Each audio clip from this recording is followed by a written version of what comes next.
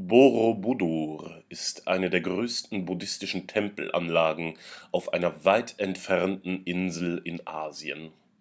Sie wurde für den Gott Buddha gebaut. Der Tempel wurde um das Jahr 750 gebaut, also fast zur gleichen Zeit wie die Pfalzkirche in Aachen. Aber die zwei Kirchen könnten unterschiedlicher nicht sein. Es liegen ja auch etliche tausend Kilometer zwischen den zwei Bauten. Der Tempel Borobudur geriet kurz nach seiner Fertigstellung für lange Zeit in Vergessenheit, denn die Asche eines Vulkanausbruchs bedeckte den gesamten Tempel. Mit der Zeit überwucherten sogar Pflanzen den Aschenhügel, und im Nu war vom Tempel nichts mehr zu sehen. Erst über tausend Jahre später haben europäische Reisende die Tempelanlage entdeckt und ausgegraben. Das war ein ganz schön langer Dornröschenschlaf. Der ganze Tempel ist hoch wie ein Haus mit neun Stockwerken.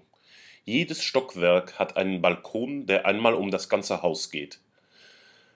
Weil man auf ihnen einmal rund um den Tempel gehen kann, wird er auch Rundgang genannt. An allen Wänden der Rundgänge sind Bilder in Stein gemeißelt, die das Leben von Buddha erzählen. Wie viele Kinder sind auf deiner Schule? Stell dir mal vor, von jedem deiner Mitschüler gäbe es eine Statue auf dem Schulhof.